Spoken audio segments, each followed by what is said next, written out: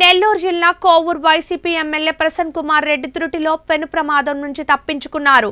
ఆయన ప్రయాణిస్తున్న కారును లారీ ఢీ కొట్టింది ఈ ఘటన ఇనుమడుగు క్రాస్ రోడ్ సమీపంలో జరిగింది.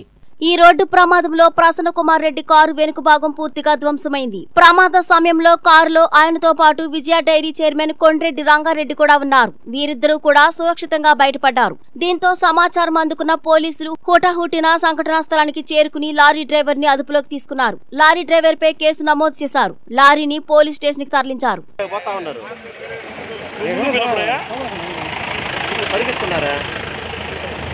నువ్వు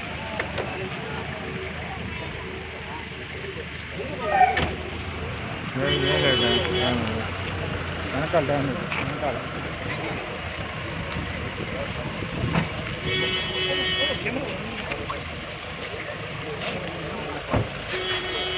తప్పింది ఇప్పుడు ఇక్కడ టర్నింగ్లో. ఒక పెద్ద లారీ వచ్చి పోలీసు వాళ్ళు ఆపుతున్నా కూడా వాడు ఆపకుండా వచ్చి నా కారును కొట్టాడు. మధ్యలో కొట్టుంటే నేను రంగన్న చనిపోయి ఉండేవాళ్ళం. వెనక తగిలింది.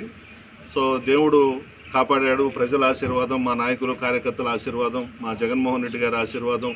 స్వర్గంలో ఉన్న నల్లపురెడ్డి శ్రీనివాసరెడ్డి గారు మా పెద్ద ఆయన రాజశేఖర రెడ్డి గారు అందరి ఆశీర్వాదంతో ఈరోజు బతికి బయటపడ్డాం. అది చాలా ప్రమాదమైన యాక్సిడెంటే.